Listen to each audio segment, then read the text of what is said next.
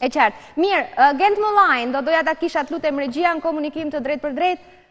Zoti Mullai, mirëmbrëma, faleminderit mirë se iu bashkuat Frontline, edhe pse e di që keni qenë në pikun e zhvillimeve dhe punës edhe mbrëmjen e sotme dhe do t'ju marrë disa detaje edhe për, për çështjen e Vlorës që ishte një nga ngjarjet që ne kemi rreshtuar në këtë uh, fillim janari. Faleminderit.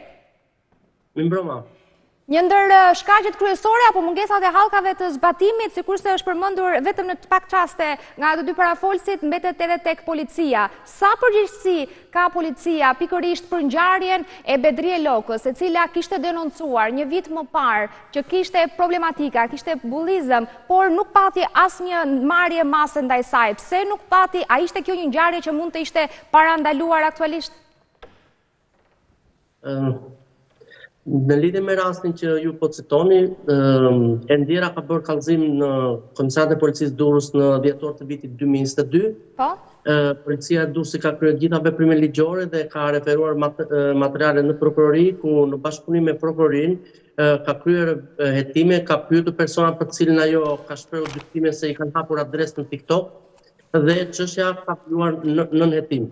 që prej kallëzimit të parë që ka bërë në në Komisariatin e Policisë Durrës nuk ka patur ndonjë indicie apo ndonjë shqetësim tjetër në adresë të policisë që kjo shtetase të ishte e kërcënuar apo e shqetësuar nga nga ndonjë person apo të kishte shqetësime të tjera nëpërmjet rrjetit social.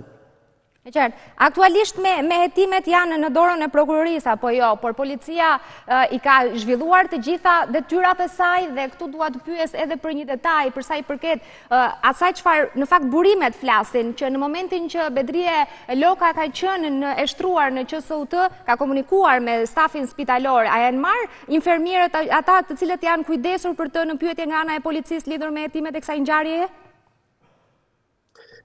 Dua t'ju siguroj se policia ka kryer të gjitha veprimet procedurale dhe ju jeni të njohur dhe me rezultatin e hetimeve ku falë dyshimeve që OPG-t krijuan pra të grupit hetimor që krijuan dyshime në lidhje me me rolin e bashkëshortit të saj, po.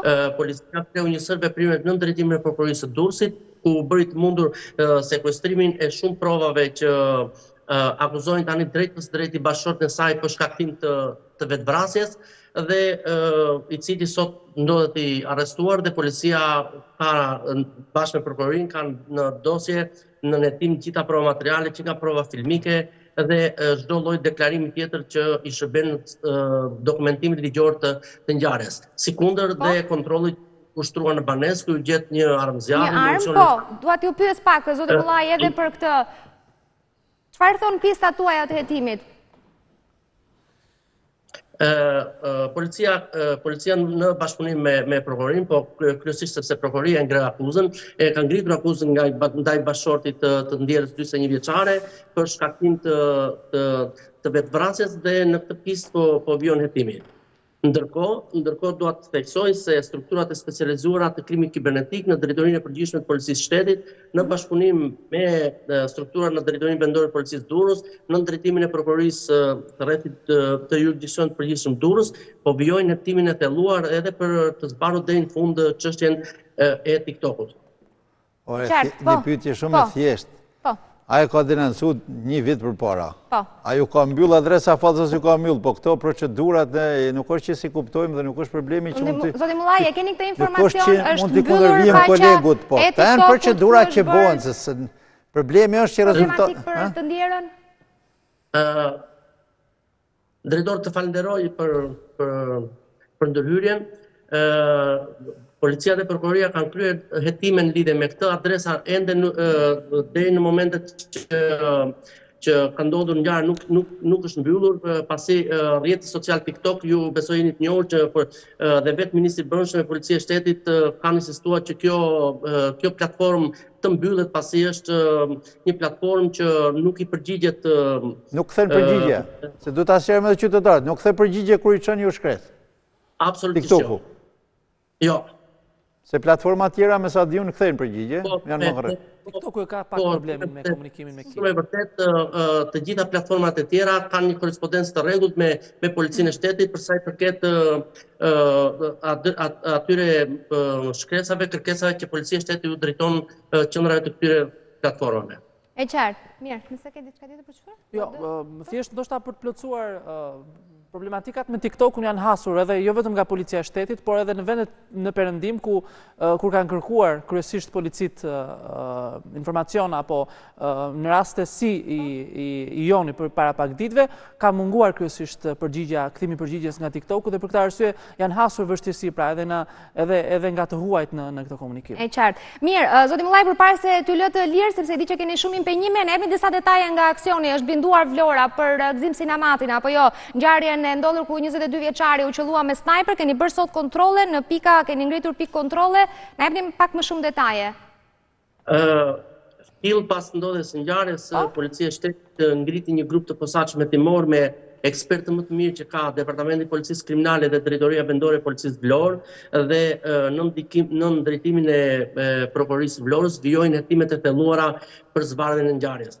A keni rënë, a keni, a keni pista që mund të themi që keni rënë në gjurmët e autorit sepse ishte një qitje shumë korrekte, kanë thënë paktën edhe ekspertët. Po ju po ju sqaroj. Po. Që prej të hënës në në drejtorinë e Vlorës është zhvendosur drejtori i përgjithshëm i policisë së shtetit dhe aktualisht ndodhet aty po. ë bashkë me grupin e posaçëm hetimor, me me prokuror, me me me me me gjithë strukturat e drejtorisë vendore të policisë Vlorë, po vijojnë hetimet e thelluara, po vijojnë kontrollet, po vijojnë pikat pikat e kontrollit, shoqërimet e personave, marrje, marrje e deklarimeve të tyre, po kry, janë grumbulluar gjitha pamjet filmike, po kryhet një një një një hetim i thelluar dhe ka një ka një dinamikë shumë të shtuar të të, të policisë, po jo vetëm në Vlorë, po aktualisht prej dy ditësh policia e shtetit është duke zbatuar një plan kombëtar masash dhe kontrolli intensiv në territor duke shfrytëzuar inteligjencën policore dhe bashkëpunimin me agjencitë e tjera ligjzbatuese, pasi ky plan i ri masash do të ka përfshirë, në këtë plan janë përfshirë forcat operacionale, forcat kombëtare të sigurisë, Shqiponja, Patrulla e Përgjithshme, Policia Rrugore dhe Forca Elitë RENEA, për të bërë të mundur parandalimin e ngjarjeve kriminale, kapjen dhe çuarjen para drejtësisë të personave përgjegjës, kapjen e personave në kërkim, të atyre që qarkullojnë me armë zjarri, me lëndë narkotike, me lëndë eksplozive, pasi Vlora ka pas vitin e kaluar dhe raste të parandalimit të ngjarjeve me lëndë eksplozive apo me mina me telekomandë. Mhm. Pra ka një kemi, ka kemi folur kemi diskutuar Vlorën në fakt edhe për gjitha ngjarjet, edhe aq më tepër që ishte në një moment kur uh, nuk pati as energji elektrike e gjithë ngjarja dhe që ishte me një të qëlluar të snajperit që nëse ka uh. detaje apo dyshime për një person me vrasës me pagesë, një ekspert, gjitha këto, uh. besoj i keni në në hetim. Unë nuk dua të them detajet e kësaj, sepse e para nuk më lejohet njëherë se çështja është në hetim, po dua të them këtë që aktualisht nga grupi i posaçëm hetimor janë hapur gjithë dosjet e vjetra që kanë lidhje me me njëra tjetrën apo kanë indicie për të për të shkuar drejt gjurmëve të të autorëve, pra ka një ka një një hetim shumë të thelluar dhe një hetim shumë të specializuar ku shpresojmë që nga ora në orë të kemi rezultate pozitive. E qartë, mirë, Gent Mullaj, të falenderoj shumë që na ndatë, uh, këto informacione të fundit për lajmin dhe zhvillimet që erdhë nga Vlora, por patjetër edhe të gjithë uh, serimin e situatës për sa ka ndodhur me vrasjet në vend. Faleminderit.